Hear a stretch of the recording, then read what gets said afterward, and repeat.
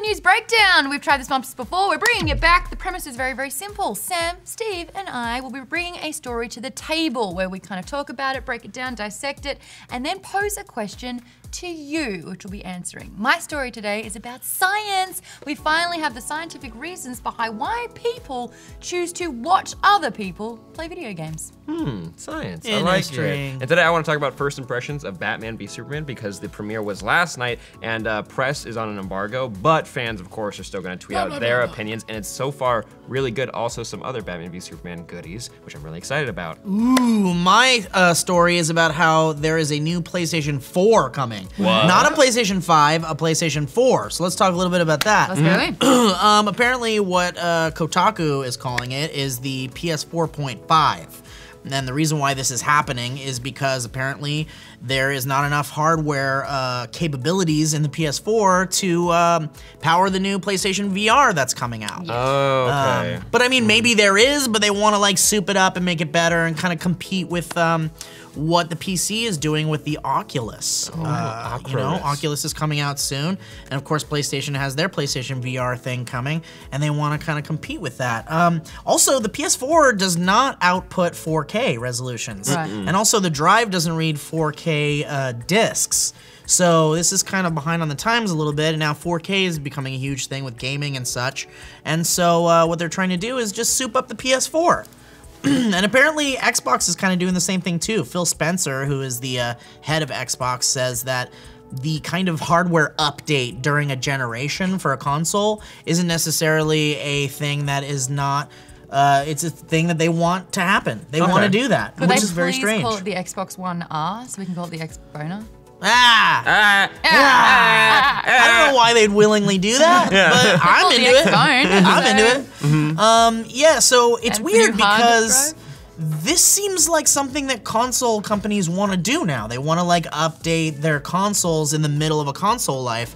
My question to you guys is: Is do you think we need a PS4.5? Um, because there's usually like five to seven years between PlayStation mm-hmm. consoles, mm-hmm. like PlayStation One all the way to PlayStation Four, and we're not quite done with the PS4 yet. I don't think so. I don't think so either. The PlayStation VR seems like and it's way bigger than the Kinect was for Xbox, but Yeah. it feels like the same kind of gimmicky thing with Right. just for PlayStation. That didn't make me want to buy an Xbox anymore, even though I had one. I didn't buy a Kinect, and I'm and I don't have any of the next gen consoles minus a Wii U, which is embarrassing. But that this doesn't make me want to buy it more because I don't own discs for anything like any movies. I have them all digitally, so why would I go buy a 4K player? Well, the reason why they would say they would want you to have 4K on the PlayStation 4 is because they're saying games will start to be And able that's to cool. display in 4K. But that doesn't make me want to watch it more. I feel or buy like it more. Sorry. Technology is um, getting better and better too fast at a rapid rate. So it's like they're trying to catch up with themselves almost. Uh, I, I think that this PlayStation 4 is still in its peak. Yeah. The sales are through the roof. They're completely dominating the market at Oh, the yeah. moment.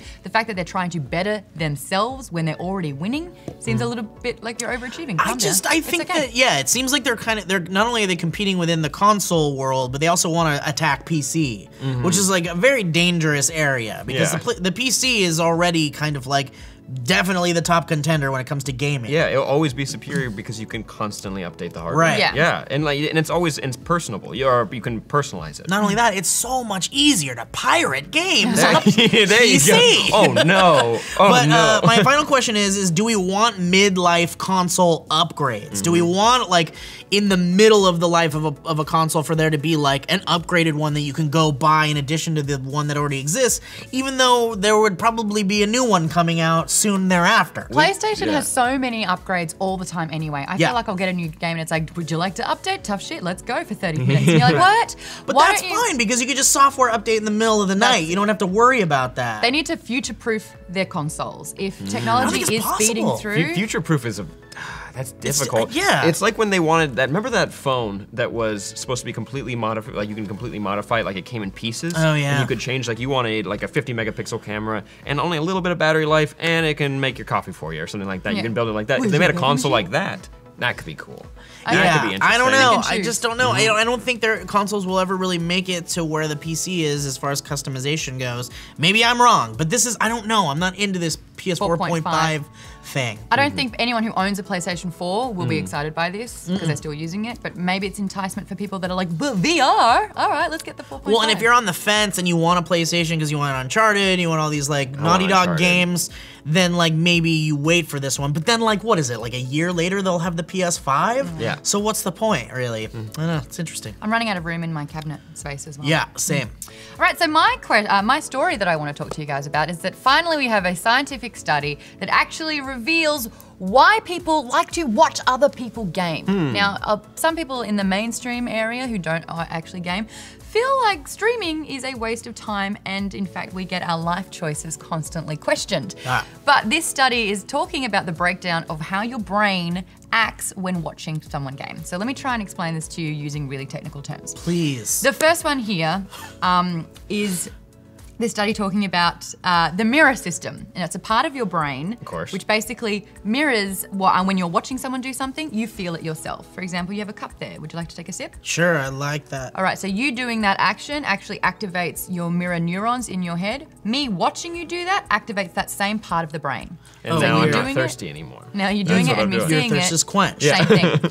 So, for example, if someone's playing a game that's strategy based, like League of Legends or Counter Strike, you're watching them play a game and it's the same thing in, in your brain that they are playing it. So you actually have the, the it's like the same kind of thing. So it's like if you don't have the game, like I understand it if it's like a brand new game, Uh-huh. and you're like you don't have it, and you're gonna watch someone play it because you want to see how that goes. That's almost the same as like playing it to your brain, I guess. Yeah. Is that what they're Yeah. saying? Interesting. And the other kind of games that you see out there is personality driven streaming. So it's someone going, This is a frustrating game. Watch me be fun and la- zany and crazy watching it. Then it unlocks something in your brain called empathy. And we all know what empathy is it's when you can understand and tap into someone else's emotions or thoughts. So that kind of gaming is the same sort of thing where you're feeling and experiencing the same emotions that the person playing the game does as well. Hmm. So we kind of already knew all of this. Yeah. It makes sense, but now the scientific study behind it is actually pinpointing what part of the brain's activated, which I kind of think is cool. Yeah. But fascinating part to make people really sit up and listen when talking about watching people stream games is in the science report. It says the person least likely to enjoy someone watching a stream are psychopaths. Makes sense. Wow, that's insane. to Yeah. me. That's crazy because I don't consider myself a psychopath, but I don't necessarily enjoy watching play watching people play video games. Mm-hmm. Like I just want to play it myself. You Right. know? Well, that's Like- just called being selfish. yeah. No. or, I mean, but you know, I paid for the damn game. I'm gonna Do I play have to it. share it? No, you don't. No, you don't, Steve. They don't. No, you don't. Now, the reason why psychopaths uh, aren't really in good at enjoying watching people play video games is because they lack a lot of empathy, and it's the empathy that really gets people to tap into the emotions of the game or the person playing it. See? Plus, Okay. psychopaths would rather be killing people and wearing their skin than watching interesting. people play video yeah, you make the uh, your silverware out of their bones. That Yeah. would take. That's way much Actually, more you don't fun have time to play a game. Yeah, of course. Or even watch someone play a game. So the question that I'm posing to you guys is what do you think about streaming video games? Do you want to watch someone play games or not? I want to hear your thoughts. Let me know in the comments below. Are you pro streaming games or nah? Yeah, why not? Yeah, I used Yeah? to actually watch uh, a few people play Minecraft because like that's a game that requires a lot of time and effort and like learning curve. And so if I get to just watch somebody play it, I don't do it anymore. I don't have the time to do it. But if you do, it is nice to experience the game without having to do any of the work. Yeah, see, I don't want it to end. I don't want people to stop streaming games Yeah. because obviously there's a lot of enjoyment people get out of that. Yeah. But it's just not for me. Like, it's not my thing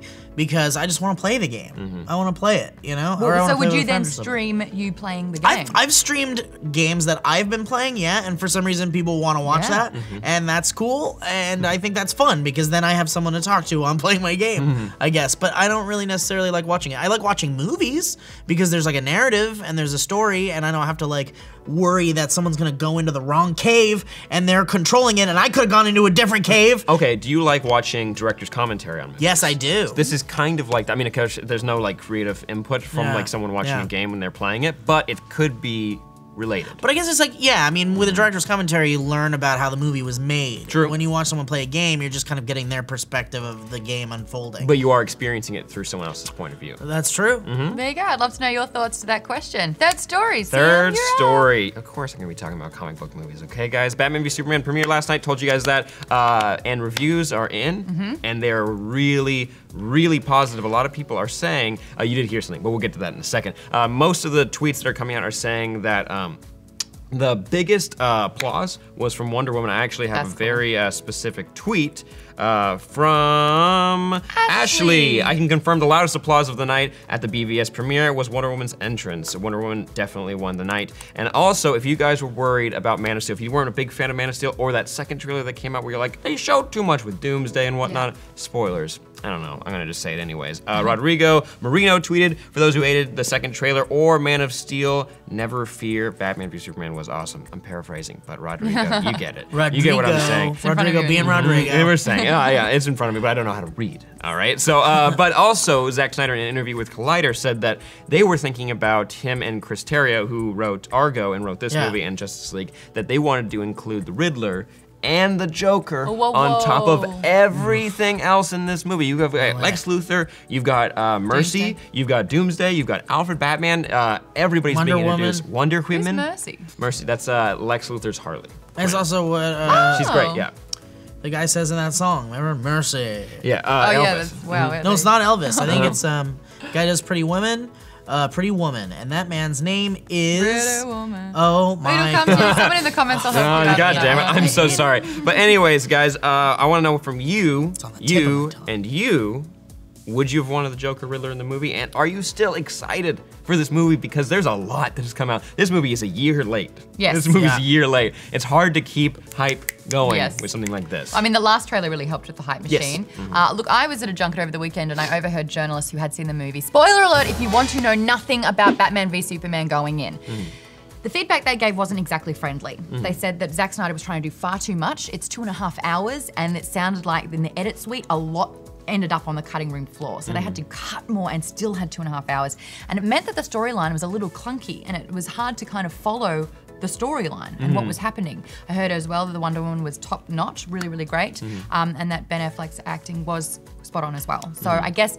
Regardless of what we say, are you going to watch the movie anyway? Are we excited? Yeah, we've already got our tickets. I mean, look, Zack Snyder filmed the unfilmable film, uh, The Watchmen. He turned the Watchmen comic into a movie that actually works, in my opinion. Mm. I think it's the really the only way you could have made Watchmen into a major motion picture. So I have faith in Snyder being able to take these characters and and bring them to the big screen. But did we need two more villains in the movie? I don't know. no. I mean, look, it's just I'd I don't understand the the method behind that. It must be Warner Brothers going like, just we gotta throw them all in there. Mm-hmm. We want to please everybody. So I don't know. I'm nervous about the overcrowding. Here, really quick. Somebody actually tweeted, "Did you guys like the Batman animated series, Justice League animated series? Did you ever watch that? I watched ever? Batman the animated Series. Batman series. the animated series ever? They say this is like turning that into a live action. Wow, movie. shit. I mean, of course, That's darker, big plate. yes. A big plate. Yeah, but those did introduce a lot of characters uh, very Sure, quickly. So that's what this movie is kind of trying to be from this person's point of view. What, what I my thoughts on this is that this was supposed to be the Superman sequel. It's supposed to be Man of Steel 2.0, and the fact that then they were like, no, Man of Steel and Batman. Yeah, now Yeah. you could do it and Wonder Woman. I mean, it's a long Black movie Woman. though. Maybe we'll get a big chunk of Superman stuff in the We should- beginning. We should, wait for Justice League. I don't That's know. when you bring in the All Uh, Stars. uh,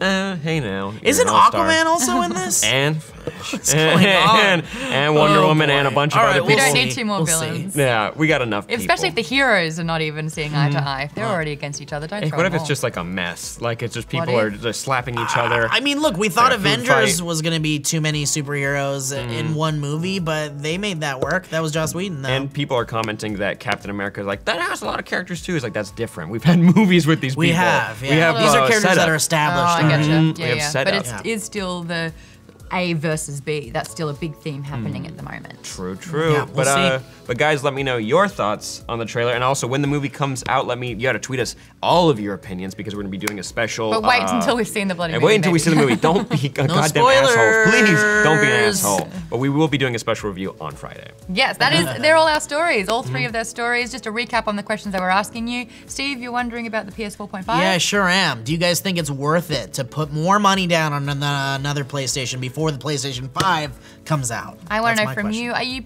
for or against watching other people stream games? Mhm, And I want to know: Did you want a Joker and Riddler in the movie? Are you still excited for Batman v Superman? Let me know down below. That's all you have to do. Uh, while you're there, like and subscribe Yeah, please If do you that. want That'd be great. if you want to. If you're up also, for it. I want to know what love is. There you go. I Please want let you to us- show me. Yeah, let us know down I don't know if below. I'll show you. I think um, I don't. I think Also, like our Facebook page. I liked your joke. I still liked it. Like our Facebook page. And also, later today, we're doing a full season two review of Daredevil. It will be up later tonight. DJ Matt and I spent 13 hours here Wow. in the Jesus office watching all of it, and it's amazing. It's Yeah. very good. Was that Way good, though, better than you- season one. Were you? How was that on your body and your mind? I was a little that? sick after, but Yeah. I think that's okay. You know, it's worth it. It's for you guys. It's for you guys. So be ready for later tonight uh, on the SourceFed Nerd YouTube channel. Well, that's it for today's Nerd News Breakdown. Thanks so much. I'm Maude. I'm Sam. And I'm Steve. We'll catch you later. Bye. Bye bye. Oh, there's porn on there. Oh shit. Oh no, no, no, there's porn on You're there. into some weird text shit. And the last piece of news for the day Marvel has officially announced that Game of Thrones actor Finn Jones has been officially cast as Iron Fist.